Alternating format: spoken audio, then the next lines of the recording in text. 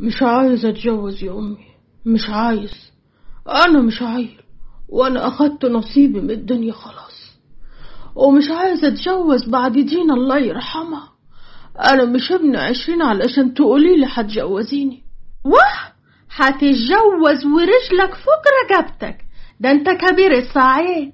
يعني لازم يكون عندك عيلة مش واد ولا اتنين. أمي أنا عندي مريم بالكل. وأنت كنت بتحبيه. اشمعنى دلوقتي كرهتيه؟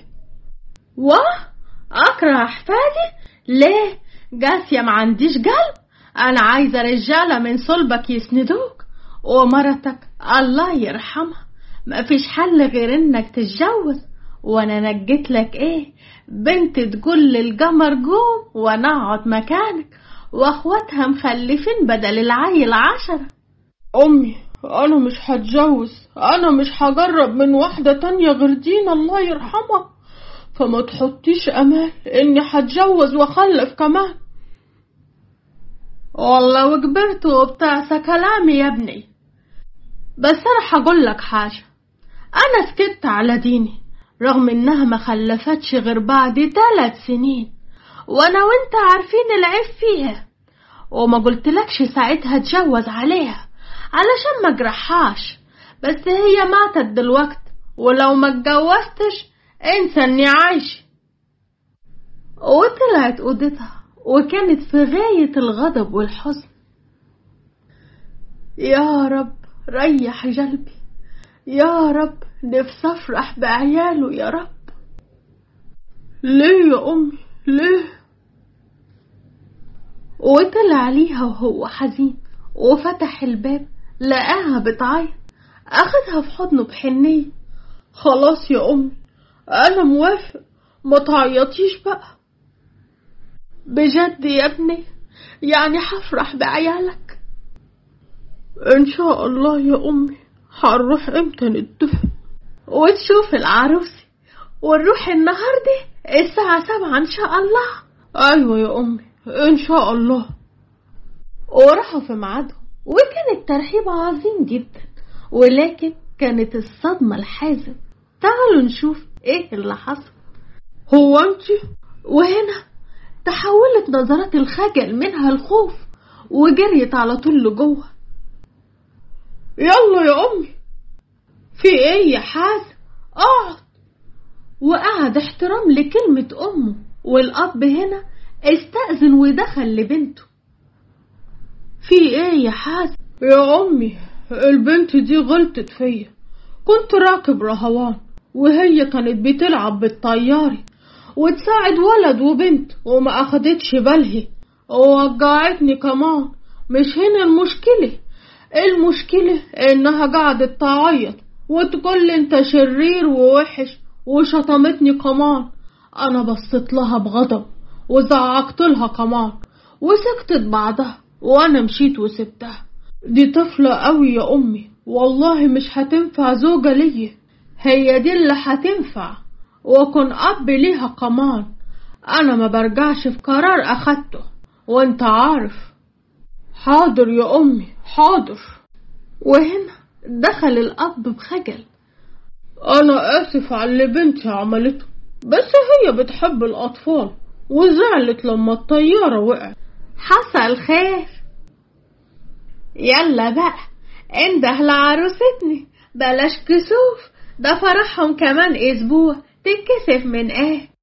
وهنا كانت الصدمة وما أدراك ما الصدمة حازم اتدبس يا عيني يا ضنايا يا حازم وفعلا جت ياسمين وقعدت معاه وبعد شوية استأذنت ودخلت وعدى الأسبوع هوا. حد ما جت ليلة العمر. ورقص الرجالة بفرحة والستات بحقد من جمال ياسمين. وخلص الوقت وطلع حازم يشوف عروسته لقاها نايمة بصلها بغضب وعور نفسه ورمى المنديل من الشباك. ضرب النار اشتغل وهي لسه نايمة. وآخر ما زهق لف إيديه ونام جنبها. وتاني يوم جات لهم الصباحية فوق وياسمين كانت بنهم لحد ما حازم زهق وقال نازل يشوف مصالحه وفعلا لبس ونزل. بس أمه طلعت له وقالت له ما يصحش يا حازم. وهو طلع فتح الباب وانصدم. لما لقى ياسمين مطلعة بدلة رقص من الجهاز بتاعها وبترقص على أغاني شعبية. وهي على الترابيزة لحد ما شافته وهو قرب منها جامد. وهي حاولت تنزل بخجل وخوف بس كانت هتقع وهو لحقها وانصدم بجمالها وبص ليها التوهان وقرب منها وهي تاهت من لمسته ونظرته ليها وسكتت شهرزاد عن الكلام غير المباح وأصبحت ياسمين زوجته قولا وفعلا. حزم بغمزة وجرأة. مبروك يا عروسة. ياسمين ردت عليه بخجل ودخلت في حضنه أكتر كأنها بنته شوية وسمعوا خبط على الباب وكان العشاء. نزلوا وكلوا. وحازم راح لمريم وياسمين راحت وراه والدتا بتحاول تنيمها. بس مريم بتعيط. خدتها ياسمين وبدأت تهديها بحب وهديت مريم بين أحضانها.